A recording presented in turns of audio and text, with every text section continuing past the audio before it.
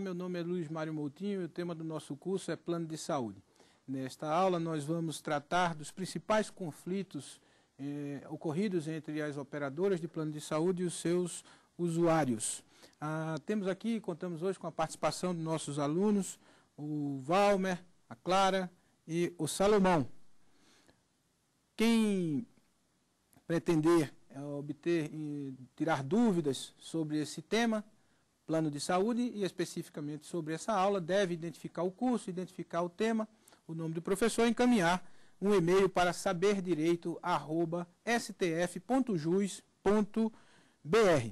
Relembrando aos senhores que na aula anterior nós tratamos de um modo geral sobre os princípios gerais dos contratos atípicos, as questões gerais da proteção contratual do defesa do consumidor, com alguma inserção ou alguma observação pontual da Lei 9656-98, que interagem com o Código de Defesa do Consumidor. Agora, nesta, nesta aula, nós vamos tratar, como dissemos, das, dos principais conflitos dessa relação. Começando pela questão da variação do preço. Né? A variação do preço. Essa, esse tema tem sido, tem é, ensejado muito litígio né? no, no ambiente forense né? especialmente com relação ao idoso. Antes de tratar da questão do idoso, sobre a variação do, seu, do preço do seu plano de saúde, é importante é, ter em mente que ah, a Constituição Federal estabelece a proteção, uma garantia, em nome da segurança jurídica, uma garantia ao ato jurídico perfeito. O que significa dizer, em outros termos, que aqueles negócios ocorridos sobre a vigência de uma norma, não é, e que se exauriu sobre a vigência dessa norma, é, está submetido a essa regra. Não pode a lei nova é, retroagir, o princípio da irretroatividade não pode retroagir para atingir fatos é, negociais já consumados, sob pena de respeitar o ato jurídico perfeito.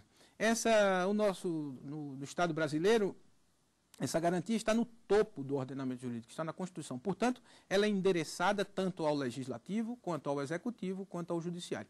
Tem países que colocam ah, o respeito ao ato jurídico perfeito não é, no plano infraconstitucional. E, portanto, afastado está o Estado legislador é, de não poder editar uma norma para modificar situações já consolidadas. Isso traz efetivamente uma insegurança jurídica, o que é, não é o caso do nosso Estado brasileiro. Não é? Ah, está no topo da Constituição, nem mesmo o legislador pode criar norma que venha atingir o ato jurídico perfeito.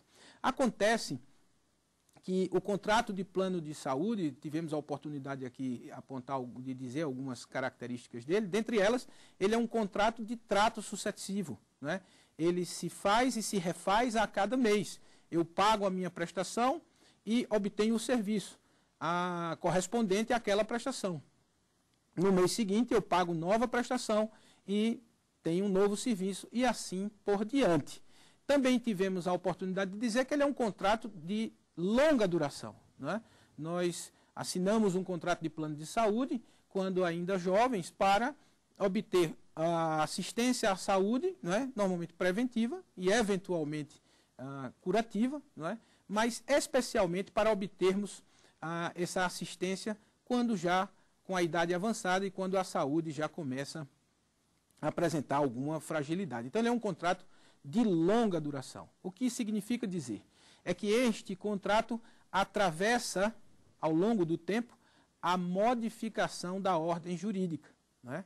Aqui está submetido. Então, isso gera uma série é, de conflitos, não é verdade?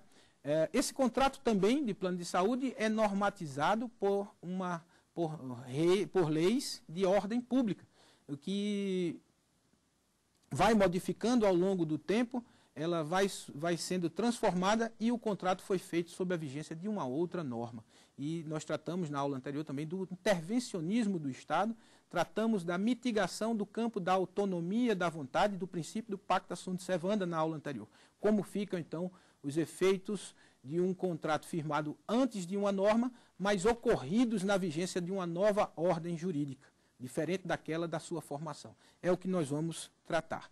Falamos também na aula anterior sobre o intervencionismo do Estado, e aqui também pontuamos. E aqui é um exemplo claro. Ah, antes do Código de Defesa do Consumidor, antes mesmo do Código da Lei 9656-98, antes do Estatuto do Idoso, antes da Lei 10.406-02, que instituiu o Código Civil com uma perspectiva intervencionista, um tanto quanto mitigada, mas com alguma intervenção em razão do papel social, da função social do contrato, nós já tínhamos planos de saúde. E nós vamos encontrar contratos ah, onde, com as mais diversas formas, com as mais diversas regras de, ah, de variação de preço. Não era um setor regulado. O seguro saúde era regulado pela SUSEP, mas o plano de saúde não tinha regulação específica. E isso gerava uma certa, é, uma certa variação de instrumentos contratuais. Uma, cada operadora estabelecia um preço. Né? Então, nós vamos encontrar na experiência aí cláusulas contratuais onde o preço varia de acordo com a sinistralidade e a operadora estabelece um índice que ela cria, um indexador que ela cria, cuja composição desse indexador é formada, dentre outros aspectos, pelo aumento dos custos dos medicamentos, dos exames laboratoriais e dos hospitais, que o usuário não sabe. Então, o que é que, é que acontecia?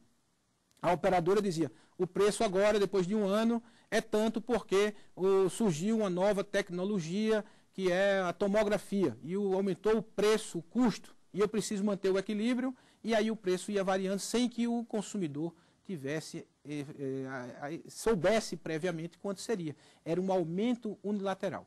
Isso você percebe nitidamente, o aluno percebe nitidamente que esse serviço, diante da importância do bem jurídico a que se refere, que é a saúde e a vida, precisava ter uma intervenção.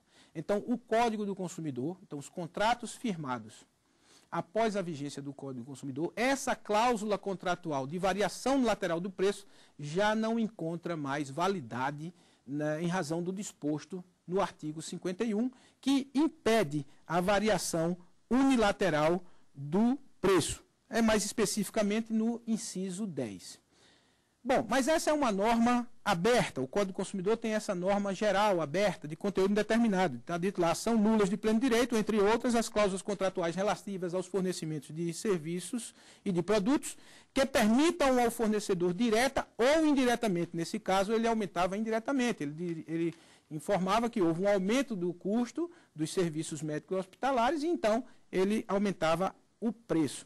Do preço de maneira unilateral. Percebe nitidamente que a, todo o contrato firmado após o Código de Defesa do Consumidor, não é, a partir de 11, 11 de setembro de 1990, não era mais possível, não tem mais validade esse tipo de cláusula contratual. Surge, então, a Lei 9656-98, no ano de 1998. Cria a agência reguladora. E essa questão da variação da contraprestação do serviço está regrada no artigo 15, cuja redação é a seguinte: a variação das contraprestações pecuniárias estabelecida nos contratos de plano de saúde, em razão da idade do consumidor, somente poderá ocorrer caso esteja prevista no contrato inicial as faixas e os percentuais de reajustes incidentes em cada uma delas, conforme normas expedidas pela ANS, ressalvado o disposto no 35E. Caros alunos, a, mesmo depois da edição do Código de Defesa do Consumidor, os contratos de plano de saúde, então, eh, foram se amoldando, uh, de certa forma, à orientação dos tribunais e estabeleciam, eh, previam na, nos, seus, nos seus instrumentos a variação em razão de faixa etária. Pode, pode, porque é para balizar o estudo atuário que é feito para manter o equilíbrio econômico, do, econômico e financeiro do serviço, do plano. Entretanto, os instrumentos simplesmente diziam faixa, é, o, o, as faixas, mas não dizia qual era o percentual de uma faixa para outra. Então, isso era ah, invariavelmente era majorado quando eu mudava de idade e caía numa faixa, numa outra faixa, e a operadora, olha, você fez aniversário e agora o seu preço, que era tanto, é tanto. Mas eu precisava saber disso quando da contratação. Até porque eu tenho o direito de fazer escolha, e para fazer uma escolha consciente do melhor custo-benefício, quando eu iniciei a contratação com a operadora, eu precisava saber quanto era o preço inicial, podia ser até mais barato do que até mais barato do que outro plano, mas ao longo do, do cumprimento do, do, do, contrato, em razão da mudança da idade, poderia se tornar muito, economica, muito, economicamente muito mais caro do que um outro plano e a minha escolha estaria viciada. Não está de acordo com a boa-fé, não está de acordo com a transparência, não coincide com o direito básico da informação previsto no artigo 6 inciso 3 do Código de Defesa do Consumidor, esse tipo de instrumento contratual, que simplesmente diz quais são as faixas etárias. Então, mesmo o contrato firmado após o Código de Defesa do Consumidor e antes da Lei 9656-98, os juízes e o Poder Judiciário eh, entendiam que essa simples, essa simples descrição das faixas etárias não atendia ao princípio da boa-fé, ao princípio da lealdade, ao princípio da transparência e ao direito básico da informação e, portanto, nula de pleno direito. O legislador de 1998, que tratou especificamente sobre a 9656, então, resolve essa questão e, no artigo 15, manda que os instrumentos contratuais contemplem as faixas etárias e diga qual é o percentual de variação de uma para a outra. A operadora, melhor dizendo, a agência reguladora, ela expede uh, norma regulamentar e define o número de faixas que vai atender ao equilíbrio econômico do plano. Também, ninguém, como já tive a oportunidade aqui de me referir, não é interesse do usuário de plano de saúde que o seu plano vá à falência, né? que, ele, que ele encerre sua atividade. Não está de acordo, ninguém tem o direito de levar ninguém à ruína. Né? E o princípio da harmonização dos interesses, da proteção do consumidor com a com o desenvolvimento econômico e social do país, está, como já dissemos, no artigo 4 inciso 3 do CDC. A regulamentação é, dessa, dessa questão da faixa etária, ela sofreu uma certa variação, é? houve uma certa mudança. A resolução Consul, número 6, estabelecia ah, sete faixas etárias. É? E ali ah, também estava definido qual era a variação máxima da primeira para a última. Depois, entra em vigor o Estatuto do Idoso, que no seu artigo 15 diz: é vedada a discriminação do idoso nos planos de saúde pela cobrança de valores diferenciados em razão da idade. Discriminar é destacar. Então, os tribunais vêm entendendo que, a partir da edição do Estatuto do Idoso, não é? em razão do disposto no artigo que acabei de ler, parágrafo 3 do artigo 15, não era mais possível incluir a variação do preço em razão da idade nos contratos de plano de saúde. Tanto é assim que houve uma modificação da, a, da resolução expedida pela agência que tirou, que ampliou de sete faixas etárias para dez faixas etárias e estabeleceu que entre a primeira e a última não podia variar de seis vezes. E entre a primeira e a sexta, ele também estabelece um limite. Isso são parâmetros objetivos para permitir o balizamento do cálculo atuarial em razão dessa modificação do Estatuto do Idoso. Mas aí havia, ah, antes da entrada em vigor do Código do Estatuto do Idoso, nós tínhamos uma norma próprio, da própria Lei 9656-98, que é o parágrafo único do artigo 15 da Lei 9656-98. Já em 99, que é quando entra em vigor, está dito: é vedada a variação a que alude o caput do artigo 15, que é a variação do preço em razão da mudança de idade, para consumidores com mais de 60 anos de idade, que participarem dos produtos, planos de serviço, eh, planos, eh, planos de, de serviço à saúde suplementar, é, há mais de 10 anos. Então, preste bem atenção. O, o contrato firmado antes da Lei 9656-98 não tinha nenhum impedimento de variação do preço em razão da idade com pessoa com mais de 60 anos. Com a entrada em vigor da Lei 9656-98, é, o parágrafo único do artigo 15 estabeleceu um limite de variação de preço para essas pessoas. Não pode variar o preço nessa faixa etária, não é? ah, ah, daqueles usuários que tenham mais de 10 anos. E, posteriormente, o Estatuto do Idoso impediu completamente a variação do preço em razão da mudança de faixa etária para a pessoa com mais de 60 anos. Tudo estaria muito bem se nós não tivéssemos é, contratos de longa duração. Como fica, então, por exemplo, a pessoa que contratou, é, ainda jovem, antes da Lei 9656-98, não é? e que, ao, ao completar 60 anos, já tinha completado 10 anos de prazo, né? como fica essa situação? Né? Pode ou não a operadora aumentar o preço em razão da mudança de faixa etária deste consumidor, sob o argumento de que quando ele contratou, não existia a Lei 9656-98. Não pode variar o preço. E eu explico aos senhores. Muito bem. O, nós dissemos aqui, na abertura da aula, que a Constituição, é? a Constituição prevê o respeito ao ato jurídico perfeito, em razão da segurança jurídica. Nós dissemos aqui que a lei regula o fato ocorrido na sua vigência e para o futuro. No caso deste exemplo dado, o contrato foi firmado por um jovem antes da Lei 9656-98. Quando ele completou 60 anos de idade, encontrou uma lei nova que impedia o aumento, em razão dessa, dessa idade, para aquelas pessoas que já que tinham 10 anos de convivência com o plano, de convivência contratual. E era o caso, no exemplo que eu estou dando, ele já tinha 10 anos.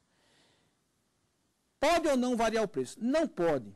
Muito embora o negócio tenha sido firmado antes da vigência da Lei 9656-98, essa, essa, esse direito subjetivo da operadora de aumentar o preço por ele ingressar na, eh, aos 60 anos, quando ele completou essa condição, né, quando ele completou essa condição, quando ele completou os 60 anos de idade, o ordenamento jurídico já não mais permitia essa variação de preço. Não se trata, portanto, da incidência da lei nova sobre um fato ocorrido antes da sua vigência, em hipótese alguma.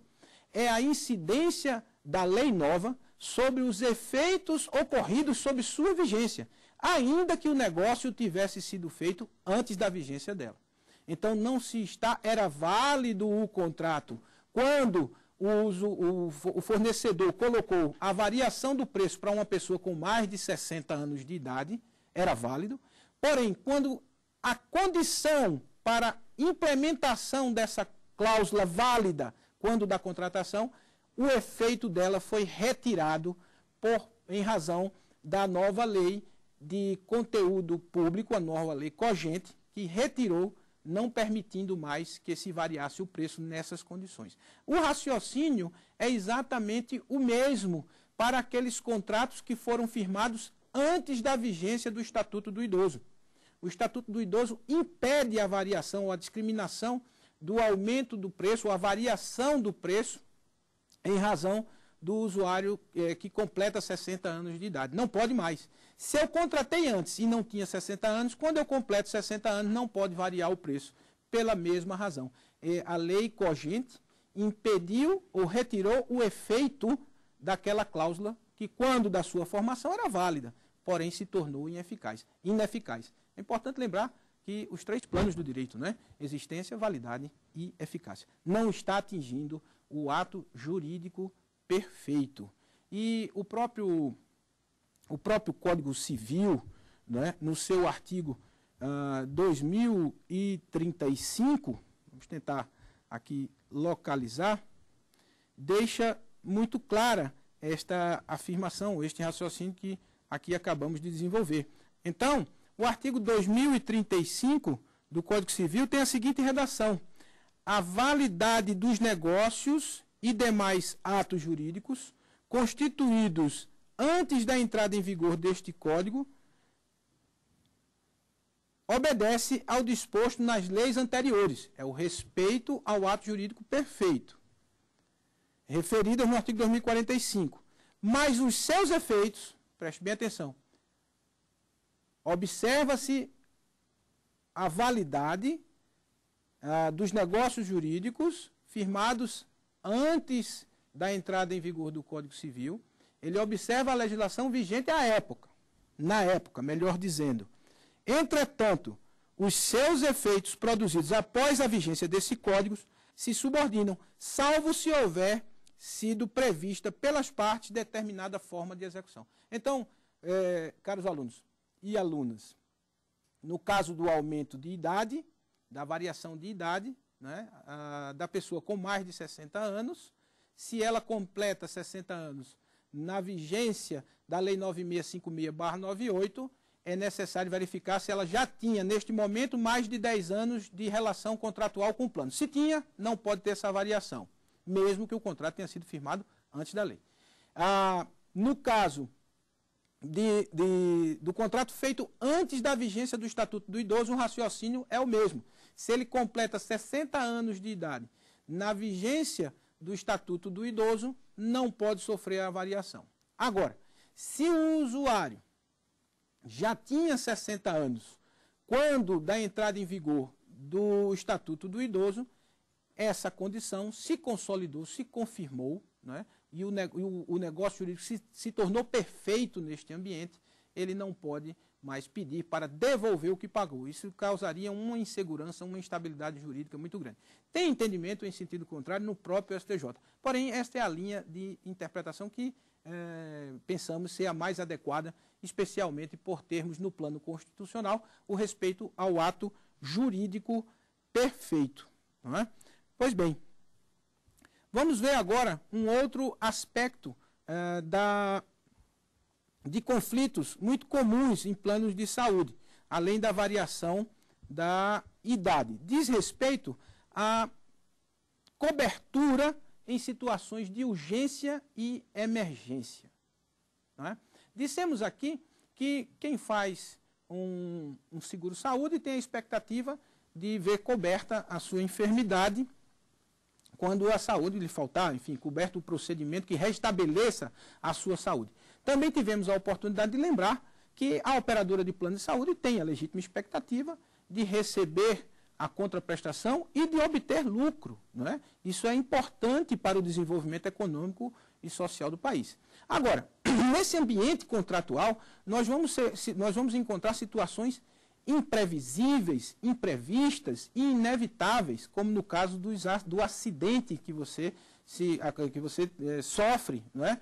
E fez o contrato num dia e no outro dia você sofre um acidente. A Lei 9656-98, para a situação de emergência, né, ela preceitua um prazo de 24 horas. Né?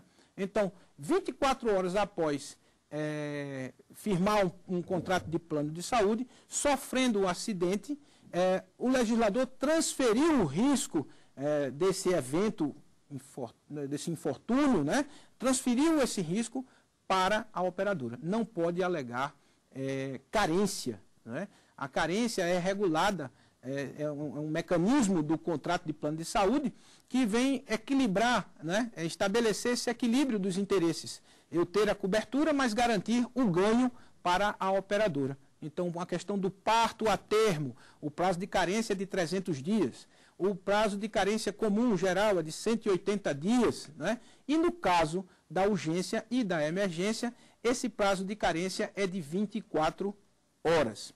A diferença de urgência para emergência, uma é que é acidente e a outra não é acidente. É uma enfermidade que você não sabia e acontece e ela é grave pode pôr em risco a sua vida. Tem em comum risco à vida e tem em comum a questão da perda da, de, de função, de órgão importante. Enfim, a, a ideia central é retirar o usuário dessa situação de risco de morte, é? desse risco de morte ou de perda de uma função para sempre, uma perda permanente. A regulamentação é, da Agência Nacional de Saúde sobre o tema, ela criou uma certa polêmica. É a RN 162 ficou estabelecido, em outros termos, naquela resolução, que no caso de urgência e de emergência, durante o prazo de carência, que são aqueles seis meses, não é? o usuário de um plano de saúde que lhe dá direito ao internamento hospitalar teria um atendimento ambulatorial por 12 horas.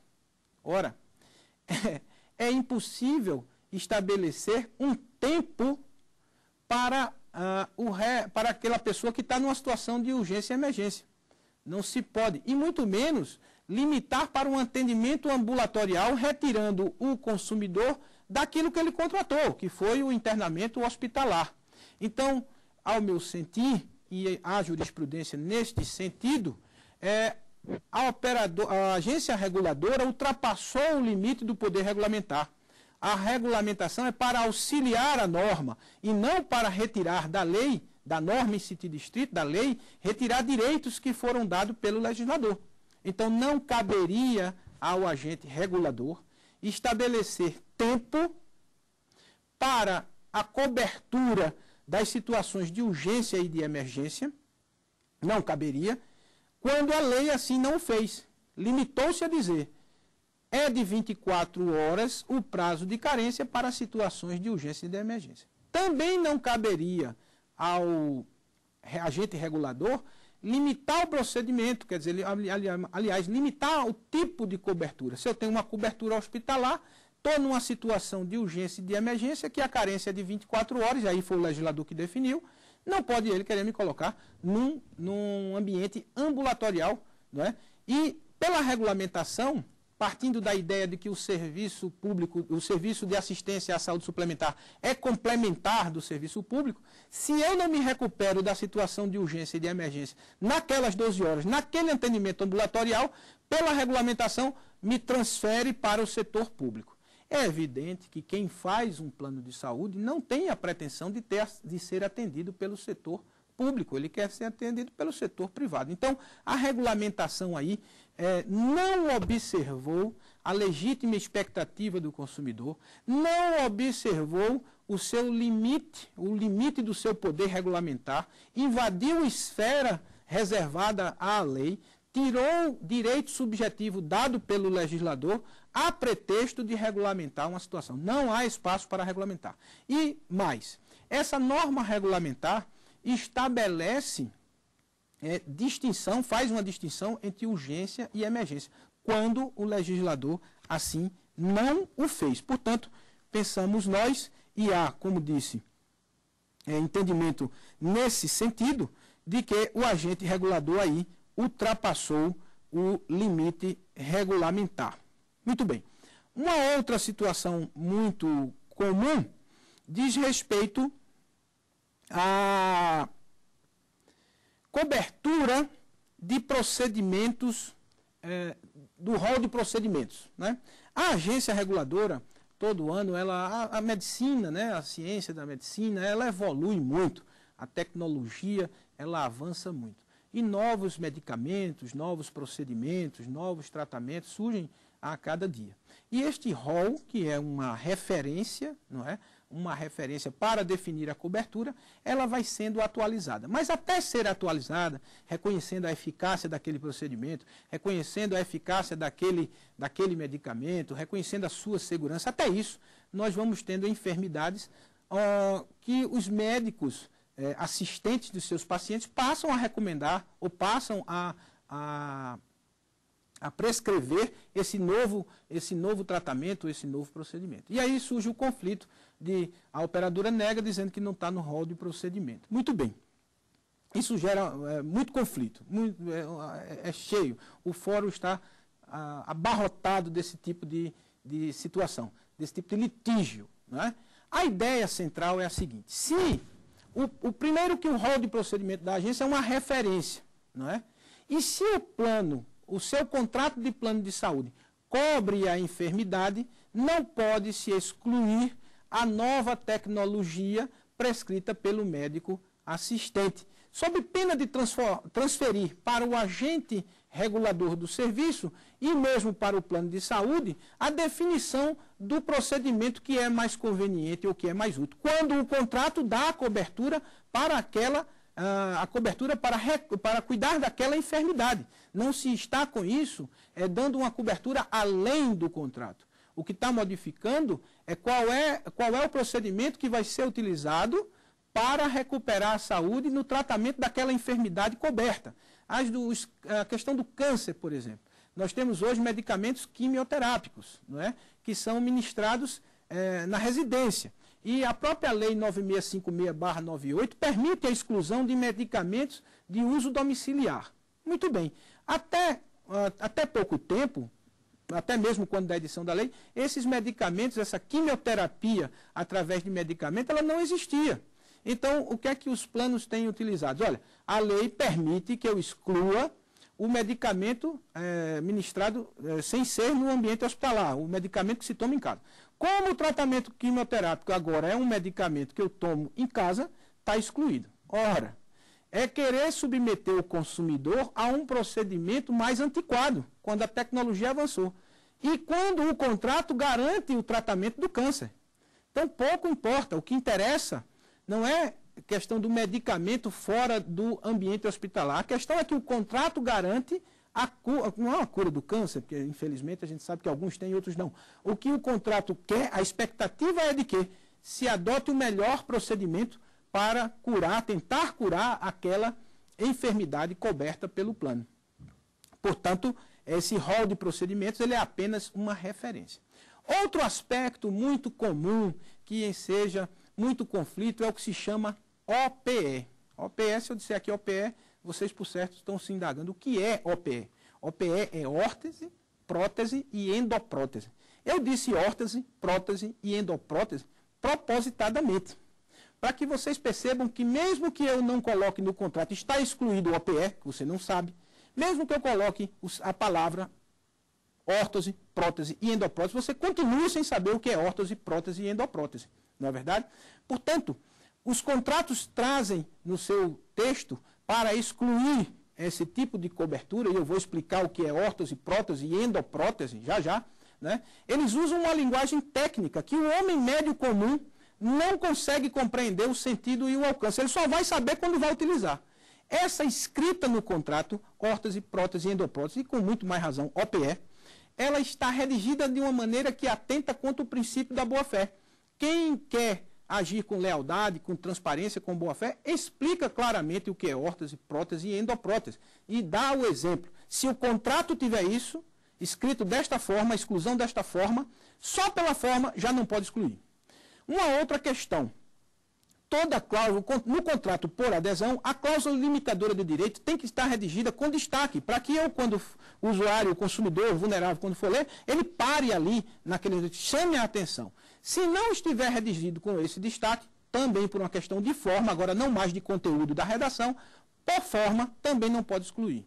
E mais, o contrato de plano de saúde, como qualquer contrato de consumo, ele precisa estar redigido, ele precisa estar escrito no corpo, a fonte, tamanho 12. Né? Hoje tem essa regulamentação. É evitar aquelas letrinhas minúsculas que o idoso, especialmente, ou a pessoa que tem alguma é, dificuldade visual, não possa ler. Então, não age com boa fé quem redige de maneira que o outro não entende. Não age com boa fé quem não destaca quando há uma limitação do direito do vulnerável. Não age com boa fé quem não escreve num tamanho que se possa, o homem médio comum possa é, ler. Essas são questões formais. Bom, questão material sobre a exclusão da OPE. Órtose, prótese e endoprótese. Eu vou tentar explicar com um exemplo. O marca-passo enquadra-se numa OPE, porque ele vai auxiliar a função do coração, que, por uma razão ou por outra, está combalido, precisa do impulso elétrico para manter a pessoa viva. O estente é uma pecinha que é colocada dentro da artéria, não é? normalmente do coração, o estente é colocado para, naquelas situações em que há, quando há um infarto, quando há um entupimento das artérias, para facilitar o fluxo sanguíneo, também está relacionado com um órgão vital. Ele se encaixa dentro desse conceito de OPE, como uma endoprótese. Né? Então, a, a interpretação que tem sido dada para essa questão da exclusão, e a lei assim também diz, é que pode excluir as órtose, prótese e endoprótese, desde que ela não seja intrínseca a uma intervenção cirúrgica. Desde que eu não precise colocar, fazer uma intervenção cirúrgica para colocá-lo. O marca-passo marca precisa, o, o estente precisa. Né? Então, eu, o que o legislador quis efetivamente é excluir aquela prótese estética. Não é? Eu tive, fui amputado de uma perna por uma razão qualquer, um acidente, esta perna, aquela prótese, aquela perna mecânica está excluída. Né? Faz-se a cirurgia, você não vai colocar a vai colocar uma, essa, essa prótese, mas por uma questão estética. Não depende de uma intervenção cirúrgica. Este é, é o sentido mais adequado. Se eu tenho uma enfermidade no coração e o plano cobre a, a, esse tipo de, de, de, especialidade, não há razão para excluir é, o estente. Porque, é, num, num, exemplo assim um pouco bem caricato, é como se, eu, eu, é como se o plano cobrisse cirurgia e dissesse não paga o fio de sutura. É? Então, era uma exclusão pela uma exclusão indireta de cobertura. Isso não está de acordo com a boa-fé, isso, não tá isso não está de acordo com a transparência e com a, a lealdade. Outro, outro aspecto muito comum, nós já tivemos a oportunidade aqui de pontuar, é a questão das doenças e as lesões pré-existentes. Não é? A, é, o que o código, o que a lei pretende equacionar aí e exigir do consumidor também é que ele se comporte com lealdade, ele se comporte com boa fé. Ele diga ao seu parceiro o que, é, quais as doenças que ele tem. Não é? é? E dizendo isso, quais são essas doenças, o seu parceiro é, deve dizer, no caso a operadora, deve dizer a ele, olha, você tem essa enfermidade, você passará dois anos sem cobertura por ela. Essa ausência de cobertura, que chamamos cobertura parcial temporária, essa ausência de cobertura ela, além de ser por dois anos, ela se refere somente aqueles exames, aqueles procedimentos uh, de alta complexidade, não é? ele se refere somente aos leitos de, de, de, elevada tecnologia. Depois dos dois anos, o senhor passa a ter cobertura integral, inclusive para essa enfermidade. O parceiro, o, fornecedor precisa esclarecer, se o senhor quiser ter cobertura integral e não parcial, durante esses dois anos, temporariamente por esses dois anos, o senhor pode pagar um agravo, o valor que eu lhe cobro é este. Esse, esse valor que eu lhe cobro é um percentual do valor, se o senhor não tivesse essa, essa enfermidade, esse percentual é tanto. Quando passar os dois anos, esse percentual sai. E esclareço ao senhor também que se o senhor quiser, esta é a relação transparente. A operadora deve dizer a ele, inclusive, dizer, olha, o senhor tem à sua disposição, porque a questão da enfermidade é uma questão de alta tecnologia, de, exige um conhecimento muito é, que o homem médio comum não tem. Se o senhor quiser para prestar as informações sobre sua saúde, o senhor pode ter um médico da nossa operadora, o senhor não vai pagar nada para orientar nas suas dúvidas. E se o senhor não quiser esse, o senhor traz o seu, o seu médico e agora o senhor paga pelo seu médico para que ele lhe oriente na hora de responder quais enfermidades eventualmente o senhor tenha agora na hora de entrar. Esta é que é a relação transparente. O consumidor que também evitar e omitir a informação, quiser a chamada levar vantagem, o direito não vai abrigar o direito dele. Né? O direito, a lei, o direito objetivamente considerado, não atribui esse direito a ele, direito subjetivo. Ele terá, inclusive, a possibilidade de ter o contrato rescindido. Muito bem. Mas nessa relação pode acontecer é, um conflito. Não é? O consumidor não sabe, não é? a, a doença se manifesta, a operadora vai, quando ele vai, quando o médico assistente dele pede um procedimento, a operadora nega dizendo que a doença é pré-existente, né? A operadora, se tiver dúvida, a lei transferiu para ela o ônus de provar essa má-fé do consumidor. Para isso, ela pode e deve fazer algum exame antes. Também, se ela fizer o exame antes do consumidor, se ela fizer o exame e aceitá-lo, não pode alegar essa pré-existência. Mas Vamos supor que ela não submeta ele a um exame. Cumpriu toda aquela obrigação. No curso da relação contratual, ela desconfia que ele tem uma enfermidade. E então recusa a cobertura sob a alegação de pré-existente. Ora, toda vez que a operadora perceber, achar que ele tem uma doença pré-existente e que não foi dita, ela precisa notificar a este consumidor para que ele diga se quer uma cobertura, se aceita aquela suspeita e permite que ele passe dois anos sem a cobertura daquela enfermidade, ou que ele responda dizendo, ah, realmente eu tenho essa enfermidade antes, eu quero pagar o tal agravo para ter a cobertura integral, ou ele fazer a impugnação.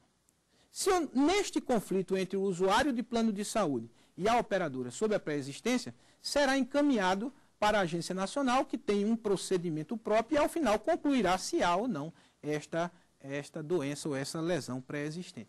É assim que funciona este ambiente, esse aspecto da pré-existência. Outra situação é, muito comum, hoje está um tanto quanto resolvida, porque a lei expressamente assim é, disse, com a questão da mama, cirurgia plástica de mama. Se a cirurgia plástica da mama for reparadora, não é? Porque a paciente, a usuária teve um, enfim, um, um tumor no seio, é, dessa, do câncer de mama, essa cirurgia evidentemente não é estética e, portanto, não está excluída como ah, todas as cirurgias estéticas estão. Não é legítima a exclusão. Houve uma, uma celeuma que, nesse aspecto, nesse ambiente, está excluída a cirurgia plástica e, portanto, o legislador é, interveio e acabou por resolver o conflito. Não é? Agora, há ainda uma, uma, uma, situação que tem exigido do judiciário a sua manifestação com relação à cirurgia plástica. É a questão da obesidade mórbida. Sobre a cobertura da obesidade mórbida, falo daqui a pouco. Mas, hoje, a dúvida é, cobrir, o plano cobre a obesidade mórbida. Ninguém tem mais dúvida disso. Evidentemente que a pessoa é, obesa, nesse parâmetro de chegar perto da, do óbito, ocorrer o risco de, de, de, morte, esta pessoa ela não tem saúde, ela está enferma. A consequência do emagrecimento repentino pela gastroplastia é a questão, é o excesso de pele. E esse excesso precisa ser retirado. Por quê? Porque esta pessoa passa a ter um, um, um, uma, uma, uma enfermidade agora de ordem da estima, né, de ordem emocional, de ordem psíquica. E, portanto, esta cirurgia plástica para a retirada do excesso de pele do obeso, que submeteu a gastroplastia, essa, essa cirurgia não tem natureza estética, ela é reparadora, ela está corrigindo uma consequência de uma enfermidade que estava coberta pelo plano de saúde. Eram essas, assim, algumas questões práticas envolvendo o plano de saúde é, e essa integração dele com o Código de Defesa do Consumidor, especialmente com relação ao princípio da harmonização dos interesses do participante da relação de consumo, o direito básico do consumidor de ser informado, a boa-fé que deve nortear o comportamento tanto do consumidor como do, do fornecedor, que nós tínhamos a tratar aqui e a enfrentar neste, nesta, nesta aula. E agora eu quero eh, saber dos, meus, dos nossos alunos se desse dessa exposição, eh, tivemos alguma dúvida ou houve algum questionamento, algum questionamento por parte de vocês. Professor, existe diferença de cobertura em situações de urgência e emergência durante o prazo de carência? Pois é, nós tivemos essa oportunidade né, de tratar sobre esse tema e lembra você, Salomão, que quem faz essa distinção é a agência reguladora. A lei não faz essa distinção. No caso de urgência e de emergência, o prazo de carência é de 24 horas. E a cobertura deve respeitar a amplitude do contrato. Os contratos de plano de saúde podem ser hospitalar, ambulatorial, enfim. O agente regulador extrapolou o seu limite regulamentar e, na situação de urgência e emergência, criou um limite de tempo para o atendimento. Sendo certo que nem o contrato porque a lei não permite, a lei 9656-98 não permite que o contrato estabeleça limitação de tempo, de valor e de quantidade de consultas. Então, não poderia o agente regulador estabelecer um limite temporal para a recuperação na situação de urgência e emergência quando o próprio legislador disse que a carência era de 24 horas. Então, urgência e emergência, 24 horas, cobertura de acordo com a cobertura, ambula, eh, com a cobertura é, contratada. Se ela é ambulatorial, ambulatorial. Se ela é hospitalar, hospitalar. Tem alguma dúvida, Clara? Não, professor. Você? Professor, a operadora pode estabelecer um indexador para aumentar os preços de, dos serviços de assistência à saúde? Muito bem. Nós, é, o preço ele não pode ser modificado unilateralmente. Não por determinação da Lei 9656-98, mas pela regra geral do próprio Código de Defesa do Consumidor, artigo 51, inciso 10. Então, se nesse indexador, e normalmente é assim, a operadora tem o domínio sobre qualquer parcela dessa equação, significa dizer que ela está alterando o preço ou reajustando o preço para estabelecer o parâmetro econômico, né, restabelecer o parâmetro econômico, de maneira unilateral. Aqui é importante que se diga o seguinte: nós estamos tratando do plano individual. ao plano coletivo. Pode ser empresarial ou por adesão. Esse plano ele tem uma outra regulamentação. Então, no, um outro tratamento jurídico. No plano individual, na relação de consumo, não pode haver um indexador no qual a operadora tenha a possibilidade de indiretamente e unilateralmente variar o preço do plano. Eu espero ter tirado sua dúvida. Muito bem.